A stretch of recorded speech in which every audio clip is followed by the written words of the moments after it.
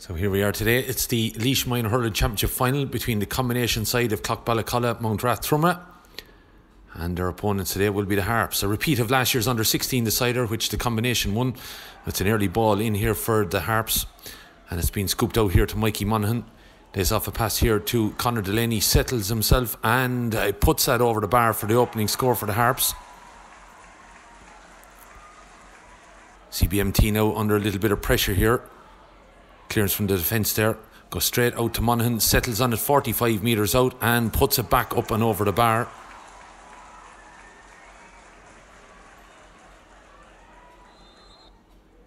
Ball knocked long now. Mark Hennessy getting this ball out the field just over the 45 metre mark. Looks at the post at Abbeyleix end and just about gets it over the bar. That's a fine score to keep the combination ticking over into that wind. But here's Mikey Monaghan with a dead ball, and it's a meat and drink to him. Three points to one here, and just over six minutes gone. Here's Monaghan again, further out this time, but the same result from the young man.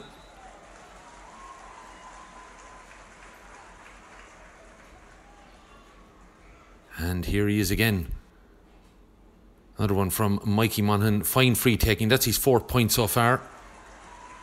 And the Harps lead here by five points to one with 16 minutes gone. But down at the other end, here's Evan Hawks going off on a strong run now inside the defence. Pass inside to Hennessy, broken away. Could fall for Hawks here again.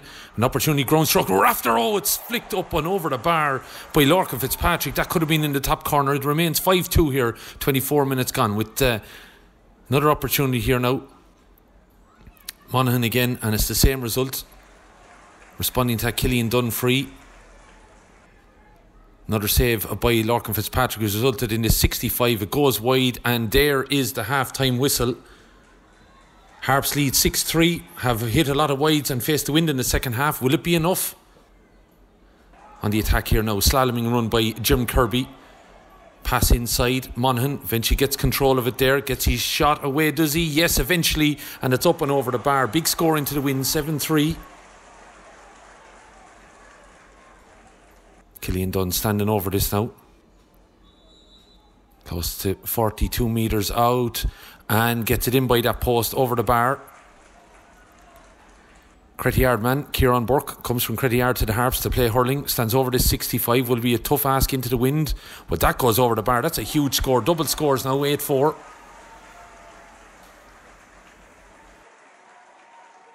And falls straight into the hand of Kevin Mulhall, and he knocks it over the bar. Killian Dunn, another free. This time it's on the opposite side of the pitch. But it's the same result from Killian Dunn. And the combination coming back into this game now. Bit of a head of steam up. And here's Dunn again now. And a tighter angle, but it looks like the umpire's going for the flag. It's over the bar. And the sides are level for the first time. Eight points apiece, and there's just over 11 minutes remaining here. Dara Hogan now takes control. Crossfield he goes in the direction of Adam Kerwin. If he's coming racing out for this ball, he is. Pops out in front of his man. Neat footwork there. Turns back inside. And the combination crew are in front for the first time. Lorcan Fitzpatrick not happy in there. Nine points to eight. Dunn now with a chance to put one hand on the cup, just over 45 metres out, and over it goes for his sixth point of the game. Strong challenge by Hennessy on Tiernock. The ball goes out, but the time is up. Yes, the referee has blown the full time whistle. The combination crew have won Clough-Ballacolla's first win since 2006 at minor level, trying in Mountrath and Trumera this time. Full time scoreline of 10 points to 8.